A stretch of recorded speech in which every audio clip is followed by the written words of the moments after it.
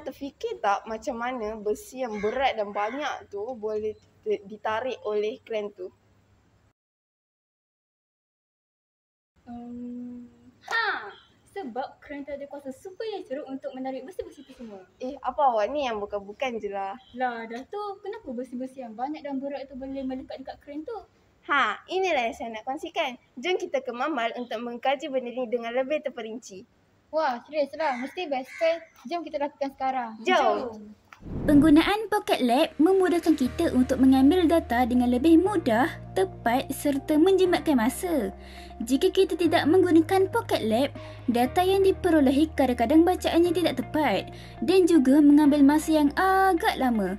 Pocket Lab ini ibarat alat teknologi yang canggih untuk memudahkan kita dalam menjalankan eksperimen, terutama sekali untuk menganalisis data dengan lebih tepat. Apabila bahan sudah siap sedia dipasang, Pocket Lab akan terus menganalisis data dan seterusnya ia akan dipaparkan di skrin telefon pintar. Seperti ini, apabila wayar dipasangkan ke bateri, bacaan bagi medan magnet meningkat secara serta-merta. Melalui eksperimen ini, kita dapat lihat bahawa apabila wayar dipasang ke bateri, arus akan mengalir ke dalam solenoid dan seterusnya menjadi magnet sementara. Medan magnet akan serta-merta meningkat.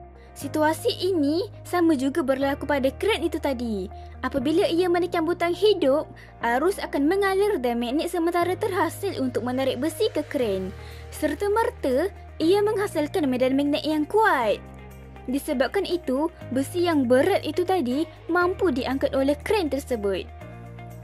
Ha, itulah sebabnya kenapa besi yang berat dan banyak itu boleh ditarik oleh kren.